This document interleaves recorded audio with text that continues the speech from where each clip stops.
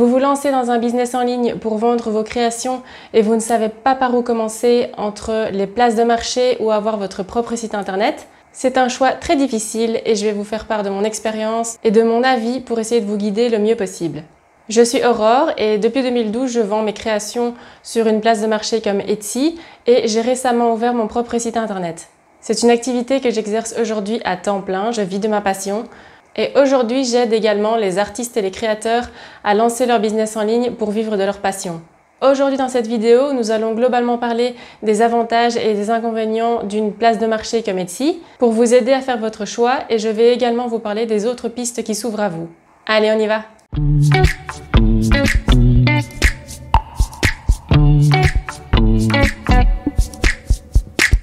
Quand j'ai démarré au tout début, je me suis d'abord lancée sur des places de marché.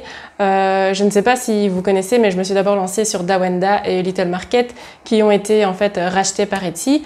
Et, euh, et puis je me suis lancée ensuite sur Etsy, mais j'ai commencé donc par les places de marché. Ça me paraissait être le plus simple, étant donné que les clients sont déjà sur Etsy, il y a un trafic dessus qui est énorme. Tout ce que vous avez à faire, c'est de soigner vos fiches produits et vos articles, vos, photos, vos descriptions, vos mots-clés, etc. Et vous allez voir que les ventes vont venir naturellement petit à petit. Etsy a beaucoup de fonctionnalités que vous aurez beaucoup de mal à égaler avec un site internet qui vous est propre. La plateforme vous permet par exemple de paramétrer plusieurs langues directement dans vos articles et sur votre boutique. Vous pouvez aussi intégrer directement certaines applications dans votre boutique et c'est très facile. Mais l'option la plus importante à mes yeux, c'est de pouvoir ajouter une personnalisation sur votre article. Donc ça veut dire que le client pourra vous laisser un texte pour que vous personnalisez euh, la création. Et également, vous aurez la possibilité de choisir des variations. Les variations, c'est une des choses les plus difficiles à mettre en œuvre sur un site internet. En tout cas, personnellement, moi, c'est la chose avec laquelle j'ai rencontré le plus de difficultés. Je vais vous donner un exemple pour que vous compreniez mieux. Euh, si vous vendez des guirlandes de Noël et que vous les proposez en différentes dimensions, chaque dimension va avoir un prix différent et vous avez décidé aussi de proposer plusieurs versions, plusieurs couleurs et chaque version a un prix également différent. Et donc, vous allez devoir les paramétrer pour chaque article, donc c'est-à-dire version A taille S, version A taille M et version B taille S, version B taille M, etc. Et vous allez devoir aller paramétrer tout ça dans votre article. Et sur un site internet, ce n'est pas la chose la plus facile à faire, à mon sens. Mais sur Etsy, tout ça est déjà préfait et tout ce que vous aurez, c'est à compléter les cases et c'est très très facile. Il y a aussi la possibilité de lancer des promotions et des campagnes sur toute votre boutique ou sur un ou plusieurs articles en particulier. Et ce que j'aime beaucoup également, c'est qu'il y a un encart sur chaque article qui montre le délai de production et le délai de livraison. Et comme ça, l'acheteur peut vraiment se faire une idée claire de la date de réception à peu près à laquelle il va recevoir son article. Il y a également des petits détails qui vous aident à vendre plus, comme par exemple une petite phrase qui se met en dessous du bouton Ajouter au panier lorsqu'il reste un seul article euh, à vendre sur la boutique. Et il est marqué Attention, il ne reste qu'un article, dépêchez-vous etc., etc. Etsy a énormément d'avantages, c'est un fait. Et quand j'ai commencé, ça m'a paru être la plateforme idéale. C'était une ambiance très bienveillante et c'était également adapté à mes besoins. Malheureusement, la plateforme a pas mal changé et pour être tout à fait transparente avec vous, j'ai vraiment l'impression ces dernières années que c'est beaucoup l'argent qui fait tourner Etsy maintenant. Au fil des années, j'ai entendu du bon et du mauvais et j'ai entendu beaucoup de boutiques qui sont fermées du jour au lendemain sans raison apparente, sans être prévenues. Et ça, je dois dire que c'est quand même quelque chose qui peut refroidir. Il ne faut surtout pas oublier que votre boutique ne vous appartient pas, elle appartiendra toujours à Etsy sans compter les frais de plus en plus importants que la plateforme vous facture quand vous vendez un article. La dernière nouveauté en date qui m'a beaucoup déplu sur Etsy, c'est la publicité externe qui est obligatoire. C'est-à-dire que si vous faites plus de 10 000 euros par an de chiffre d'affaires sur la plateforme, vous êtes obligé de participer à un programme de publicité externe. Donc c'est-à-dire qu'en fait Etsy va faire de la pub pour vous sur des médias comme Google, Facebook, Instagram, Pinterest, etc.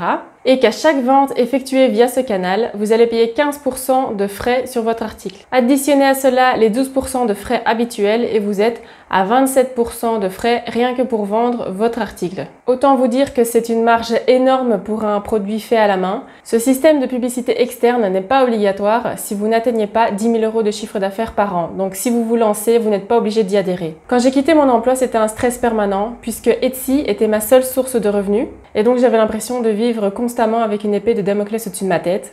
J'ai très vite décidé d'ouvrir un site internet, donc j'ai fait appel à une agence spécialisée dans la création de sites sur mesure. C'est comme quand vous ouvrez une boutique physique, vous voulez qu'elle soit exactement comme vous l'avez imaginé, que la devanture soit accueillante, que l'intérieur soit bien aménagé, etc. Pour un e-shop, c'est la même chose. C'est la première chose que vont voir vos clients, donc c'est très important de donner une bonne impression. J'avais donc investi beaucoup d'argent dans ce site internet, je comptais beaucoup dessus et je n'ai rien à redire. Franchement, l'agence web avait bien travaillé, ils ont fait un très bon boulot. Mais malheureusement, j'ai très vite compris que ça ne suffirait pas pour mon utilisation et également qu'il y avait des pistes qui étaient plus faciles, plus rapides et moins coûteuses. Il faut vous dire que pour un site internet sur mesure, il y a des outils que vous n'aurez pas à la base. Comme par exemple, moi je me souviens, je voulais traduire mon site internet dans plusieurs langues et je n'en avais pas la possibilité, c'était une option en plus. J'avais également beaucoup de mal à programmer les frais de port puisque moi il changeait en fonction du poids du colis, donc de l'article, et aussi en fonction des pays, donc euh, c'était des tarifs différents à chaque fois. Et ça, je me souviens que ça a été quelque chose de très compliqué à installer.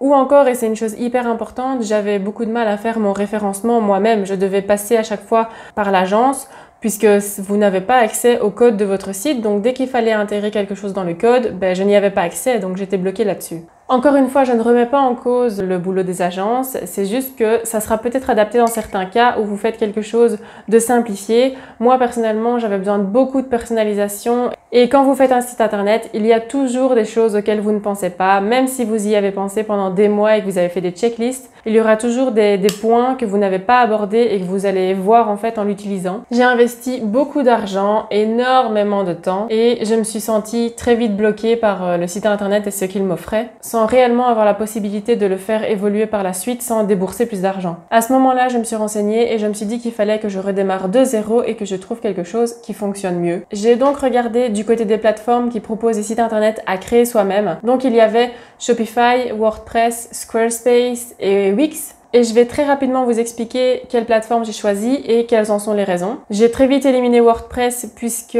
j'ai l'impression que sur cette plateforme, si on veut sortir un petit peu du cadre et ajouter des fonctionnalités, on doit passer par de la programmation. N'y connaissant absolument rien, j'ai très vite euh, laissé tomber ça. Ça m'a un peu effrayé et ça m'a fait peur de retomber dans un site qui serait un peu bloquant pour moi, dans le sens où je devrais encore payer quelqu'un pour m'aider à le programmer. Et ça, c'était pas mon but à l'époque. Je me suis aussi tournée vers Shopify, qui est hyper connu. Vous en avez sûrement déjà entendu parler.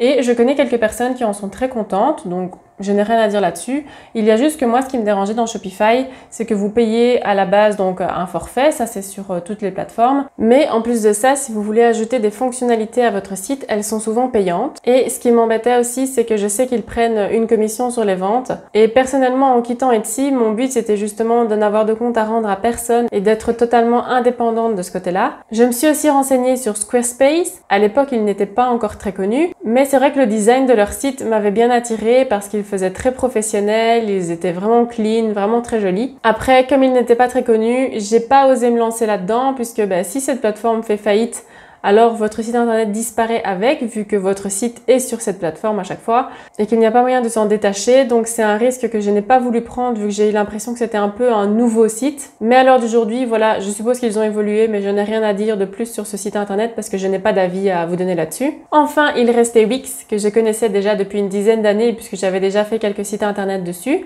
Et à l'époque, ils étaient très mal classés dans les résultats de recherche et c'est aussi pour ça qu'ils étaient connus parce qu'ils étaient très mauvais en référencement. Mais ils ont vraiment bien évolué puisqu'aujourd'hui, ils sont parmi les sites préfabriqués les mieux classés d'Internet. J'ai donc décidé de tenter ma chance sur Wix et j'ai été vraiment agréablement surprise par le nombre de fonctionnalités gratuites qu'il y avait de proposées. Franchement, je ne m'attendais pas à un tel panel et je peux facilement dire que Wix a dépassé mes attentes. Ce que j'aime aussi sur cette plateforme, c'est que je n'ai pas de frais sur mes ventes et que j'ai pu faire mon référencement toute seule. Je n'y connaissais absolument rien, mais même les novices sont capables de le faire sur Wix. C'est hyper bien expliqué et il y a vraiment des endroits prévus où il faut mettre chaque info. Et aujourd'hui, mon site me rapporte entre 2 et 5 ventes par jour, ce qui pour moi est énorme, je ne m'attendais pas à un tel résultat. Maintenant, ce qui a marché pour moi peut ne pas marcher pour vous. Je pense que chaque situation est particulière. Et j'insiste sur le fait que je n'ai pas été payée par Wix et que je ne suis pas partenaire.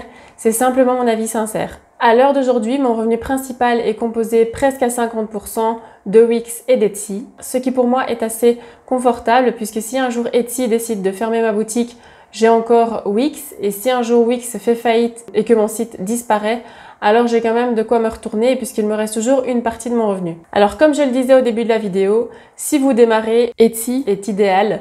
Le marché est déjà là. C'est l'occasion pour vous de tester vos produits auprès des clients, de voir ce qu'ils vous en disent, des retours que vous avez. Vous pourrez peaufiner vos produits, les améliorer et peut-être même voir que ce n'est pas fait pour vous, puisque en fait sur Etsy, vous n'avez pas de frais de démarrage. Vous ouvrez votre boutique gratuitement et c'est le fait de mettre en ligne vos articles qui coûtent 20 euh, cents, enfin 17 cents hors TVA, plus vos ventes sur lesquelles vous allez être prélevé. Mais sinon, il n'y a pas d'autre coût que ça. C'est ça l'avantage sur Etsy, c'est qu'on s'est démarré sans capital de départ. Tandis qu'un site internet, ça engendre des dépenses. Déjà, sur un site comme Wix, vous devrez payer un abonnement au mois ou à l'année, donc vous allez engager des frais. Donc pour moi, Etsy est vraiment parfait pour un revenu complémentaire. Et lorsque votre business va grandir, libre à vous de créer alors votre site internet. Et d'ailleurs, je vous conseille très fortement de le faire parce que dépendre uniquement d'Etsy, c'est beaucoup trop risqué. Commencez par une plateforme à la fois, faites-le bien et vous allez avoir des résultats. Et c'est en démarrant de là que vous allez pouvoir vous lancer vous-même sur votre propre site internet et que vous allez attirer du trafic. Parce que ouvrir son propre site internet sans avoir aucun client à la base ni référencement, ça va être le désert en fait. Vous n'allez avoir aucune vente et vous allez être vite découragé. Voilà, j'espère que cette vidéo vous aura plu et que ça vous aura aidé à y voir plus clair, de façon à prendre les bonnes décisions et à partir sur des bonnes bases. Je vous remercie d'avoir regardé cette vidéo et je vous dis à la semaine prochaine.